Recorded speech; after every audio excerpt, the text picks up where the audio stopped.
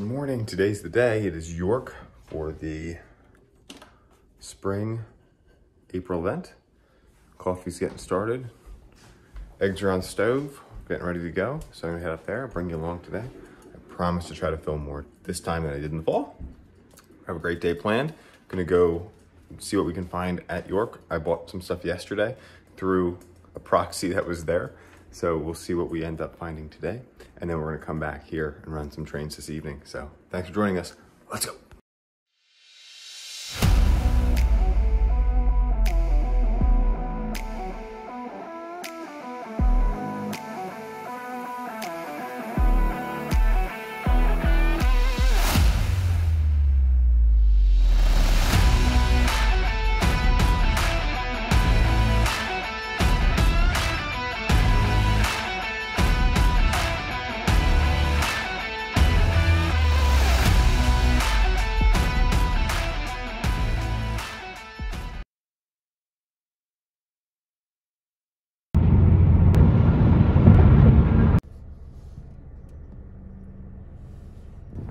So we're here, just parked the car over by the grandstands. It is 8.55, so just in time. I'm gonna go uh, down to the Blue Hall first, meet Sid, and then RBP in a little while when they get here, so it should be a good day. Let's go check it out.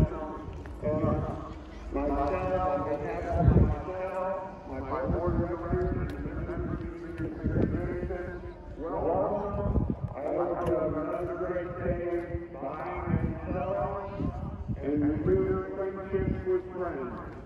If you That's really cool. That, that's. That's why we wanted to do. We saw was on that. Yeah. Yeah. Before someone else gets hurt.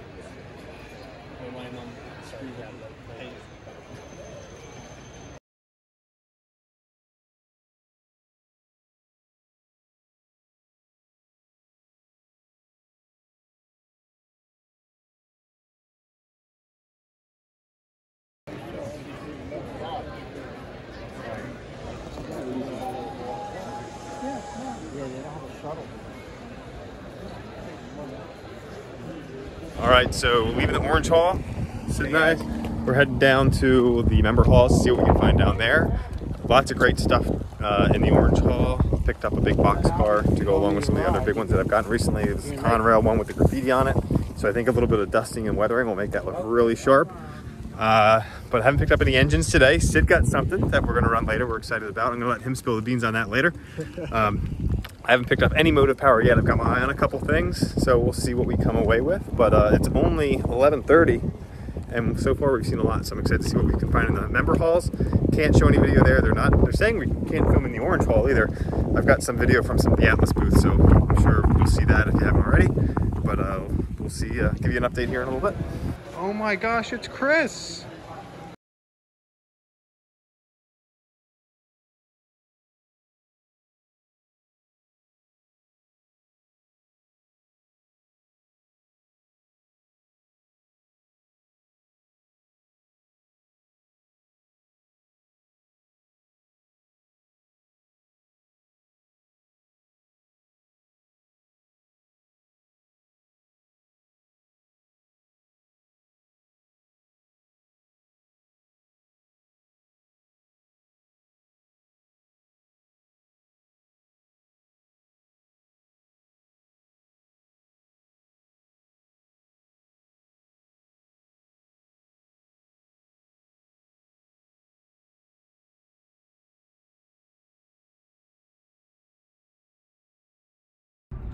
All right, everyone. So I'm on my way home.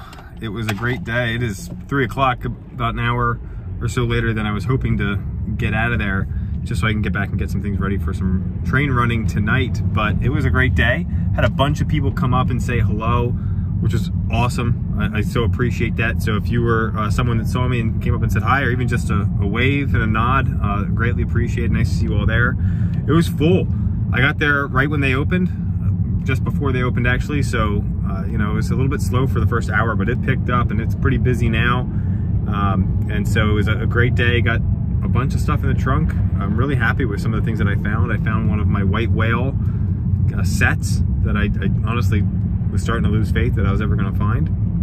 So I'm really excited about that. I've got something from Altoona Model Works that I ordered a little while ago as well.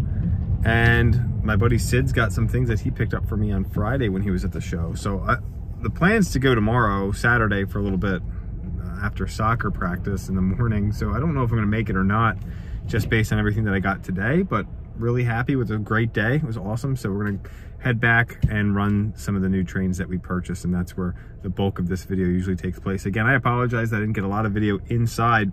Hey everybody, welcome back to the basement. So awesome show at York. Like usual, I don't get enough footage, but there's not a whole lot that you can do filming wise at York because they want people to come. And they, they did make some announcements that they didn't want filming or photography in the Orange Hall also, which is counter to what a lot of the rules have always been. So I'm not sure if that was a mistake when they made that announcement or not, but so that kind of made us a little bit more hesitant to, to do some video. So I have some still shots that you saw uh, while we were at York, but here is what I've come home with behind me. This is significantly more than I thought I was going to come home with, but I had got some great deals. And like always, we're going to move some other inventory around that we have here on the layout now to free up space for some of the stuff that you see behind me here. So let's go through these pieces one by one and talk about what we got and the plans for some of the things that we purchased as well. Let's check it out. All right, so before we start talking about rolling stock and possibly engines that were purchased at York, let's talk about a couple smaller things. So one of the things that was on my list were more of these Rail King towers. Now, I've I have two of these already. One is on the layout over by the turntable area that I've I weathered, right? And I did a live stream about a month or so ago and I highlighted that and talked about the process. I plan on having an article that is going to be coming out hopefully some point soon uh, in Classic Toy Trains magazine. It's going to highlight the process that I use to weather these and make them a little bit more appealing to the eye of someone that models steam era. So these are old Rail King tower lights. They do not make these anymore. So I knew that they were going to be, I had to find them at York. And fortunately, I was able to find two, courtesy of my buddy Sid, who is there on Thursday doing some shopping for me since I didn't get there till Friday. So those are great additions to the layout. The next thing that I came back with is a little bit bigger. There's a big box behind me now.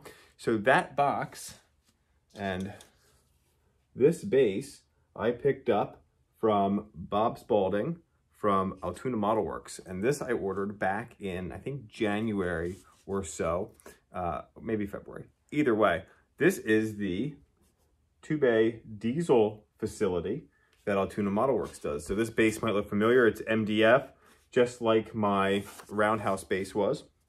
And inside this box is the kit. And so what I'll be doing is putting this together. And it's gonna go over where my Korber kit currently is. It's gonna replace that kit altogether. So this is gonna be an awesome new addition. I'm glad that I was able to pick it up at York. And we'll get that open and I'll have that that process documented just like we did for the Roundhouse project. So really excited about that. In fact, we were running some trains on Friday night and my buddy uh, Harry Henning from Henning's Trains was able to stop by on his way home and gave me some ideas about what to do with that Korber kit to maybe make it more of a car shop as well and maybe just redesign a little bit of that layout, that section of the layout rather. So this I know is just a box right now, but we'll open it up in time. So while I was at, talking with Bob over at the Altoona Model Works booth, uh, he's got a bunch of accessories and things like that that are available as well. So I snagged a bunch of these also. And these are just 3D printed scenic parts, so some miscellaneous machinery. I've got some more vents for the roof, tool bench. We have some burn barrels that'll look cool back by the farm scene. What else do we have over here? I've got like a metal lathe tool, little more miscellaneous machinery parts. And then I've got some station benches. So we've got a one-sided bench and then we've got a two-sided bench also. And these are just laser cut wood pieces. So uh, some just random parts and things like that that are gonna help scenic the inside of the roundhouse as well as the diesel shop. You know, I'll probably get these painted eventually, and then we'll get those inside the roundhouse until the diesel shop is done. But it's always good to come home with some of those small pieces as well. Those are really good. So I went back Saturday, brought my daughter with me. We weren't there for long. We were hanging out with some friends. But while we were there, we got through the registration booth. At the first table, they had the set that she's been looking for, the Frozen Lion Chief set. So this is the Frozen 2. It's got, this has been out for many, many years, but it's got the, the blue tender with the lights in it. I believe this has the Olaf car and the, the Sven car where they chase each other around. So pretty neat. She was really excited about this. So we're excited to get this out onto, we'll put it on the big layout. I'm sure I'll do a little review of it as well for anybody out there that's thinking about trying to pick that up for their kids or their grandkids. But then we'll get it, she'll be running it on her layout, which will get it off mine. But uh, pretty neat set. So she was happy that we were able to find that and always, always a good purchase to buy your kids trains. So that was really exciting. All right, so now for the the grand finale here. So I was there, we're all walking around with my buddy Sid. We went into the Blue Hall, which is the members hall, so people have like their private tables set up. And we found a table in the back and a woman had a bunch of newer legacy engines. And so we looked through it and what we found was one engine that I don't have on my layout yet. Uh, I don't have it in my collection, never have owned this, and I need it because everyone says I'm not a Pennsy person unless you own a K4. So I walked in to, we walked in, we, we opened the box up. It's in great condition, a little bit of runtime on it. So I was like, well, I can't pass up a K4. I have to, I collect Pennsy stuff and I don't have a K4. And if some people say you're not a Pennsy fan unless you have a K4. So I added that and I'm super excited that I was able to add that to my collection. Now, we go back to the Orange Hall. And We're walking around and talking with some other friends and buddies and catching up with some of the Detroit three-railer guys who are just great, great guys. And we're talking, we're over at Grzybowski's again because he's got great deals. And I'm standing there and I just happen to turn around and look down and sitting on the floor is this giant box. And inside that box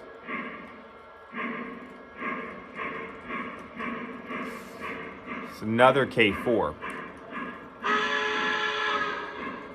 But I wouldn't just get another K4.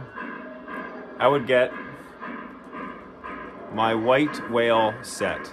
The Broadway Limited set that Lionel released with the long haul tender K4 that you see behind me that comes with these four beautiful Pullman coaches with the olive green trucks. This set I have had on my list since it was cataloged. I couldn't swing it when it was cataloged. It was a little bit too much money for me.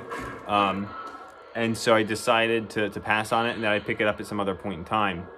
And then time went by. They used to have, they have Nicholas Smith Trains had this exact set with the four coaches here in their showcase. And I would go and I would say, can't swing it. I'd pass it up and I'd spend my money on something else when I should have just kept saving so I could have bought this. I go this past Christmas, between Christmas and New Year's, like I usually do, go down to Nicholas Smith Trains, and like, I'm pulling the trigger on it. I'm gonna buy it. I go in, and the, the K4, the tender's missing from the K4. So I go up and I talk to the manager, and he says, just sold it yesterday. We just haven't gotten it boxed up yet. My heart sank. Muffin had it, and it sold also like two months beforehand. So I couldn't pass up the opportunity to buy this when it was sitting right there in front of me. So I spoke with Joe, we pulled it out, looked at it. The only issue that this engine has We'll back it up here so you can see. And this is an issue that, that, that happened with a couple of these is the, the smoke box color is a primer instead of the graphite. So if we back this K4 up, we'll stop it. I'm gonna turn it off today. It's primer instead of graphite. So it looks a little bit different compared to the one that's over my shoulder here. And we'll do a side-by-side -side comparison later on. And we're gonna do a full review of, of this set and we'll do a full review of the K4 also, and we'll compare the color of that smoke box. But we can change that. This one's great. It's got the, the Broadway Limited plate on the front, which is really, really neat. And these Pullman coaches are just absolutely gorgeous. So there's add-on cars for this. I don't have the add-on cars. They didn't have them. If you know anybody with the add-on cars for this, you let me know because I would be interested in purchasing them. Now, because of this, right, something has to go. So let's talk about that walking around, then I completely forgot there's one other thing that I purchased. More H20, these are H22A hoppers. These are K-line die-cast hoppers. And there's a gentleman in the Silver Hall, yes, Blue Hall, I can't remember, selling these for 35 bucks a pop, or you can do a six pack for $200. So I ended up buying a six pack. And so now I've got six more of the H22 coal hoppers and these things are just awesome. They've got the full coal load. They are pretty weighty, but I've got two K4s now, so we should be able to double head and pull that whole coal drag. that's got all these awesome coal hoppers. So we're gonna dust these up and weather them as well so they fit in with the other ones that we've got. So that sums up the haul from York this year. All right, so something needs to go to pay for these because the second set was not budgeted, but I wasn't gonna pass it up. I've got my 21 inch Amtrak passenger cars from Lionel. Those are for sale, 525 our best offer. And then also, this is something I wasn't thinking of selling, but the Preamble Express is gonna go for sale as well. 875, I'll split shipping with you. My email is in the community page of my channel. So you can look there. It's, it's Chris Trains and Things, gmail.com. But check it out in the community page if you're interested. DM me. 875 we'll split shipping on the preamble. I've got the box and the shipper. And then I'm asking 525 for the Amtrak cars. Same deal on shipping. I have the boxes for those. I don't think I have a shipper. I might. If I do, it'll come with it. So that's what's got to go. So we can balance the budget sheet from, from this year's York. But so excited about this. Let's run some of these things around the layout. Thank you all so much for watching. Uh, you're going to see some clips of us running trains from Friday night now. It's going to include trains from my buddy Sid, me, and then our buddy Eric, Eric Trainman. And enjoy.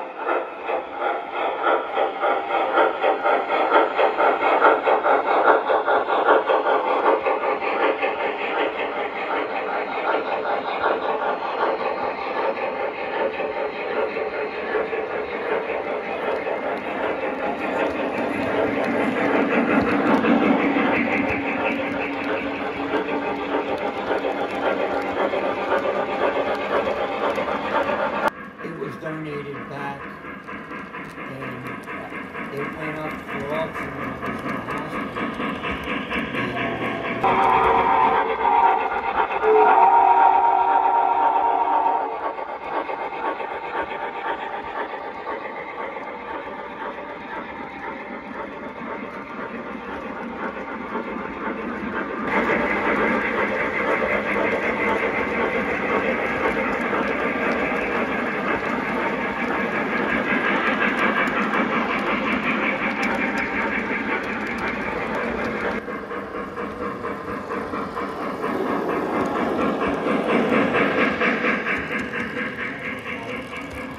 Thank you.